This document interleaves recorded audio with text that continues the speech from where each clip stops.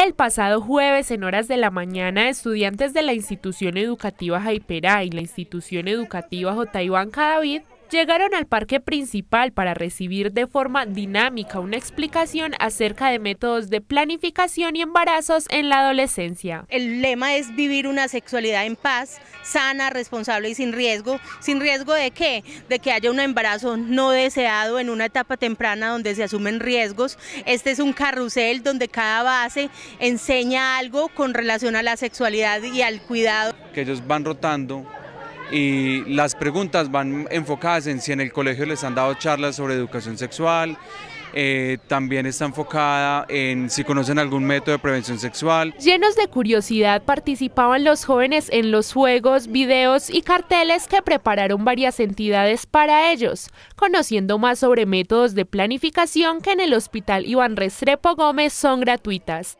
incluso las experiencias de madres adolescentes que han salido adelante. En este está, estamos trabajando los métodos de planificación familiar. Se les está haciendo una explicación clara y sencilla pues, a los jóvenes eh, con los diferentes métodos que se disponen en el medio para la planificación. Porque hay personas muy profesionales y les están explicando y les están brindando como esa ayuda, esa colaboración para que vayan donde ellas y ellas van a tener pues como esa confianza con ellos. Y nos podemos descuidar en cualquier momento y podemos quedar en embarazo o, con una enfermedad no deseada.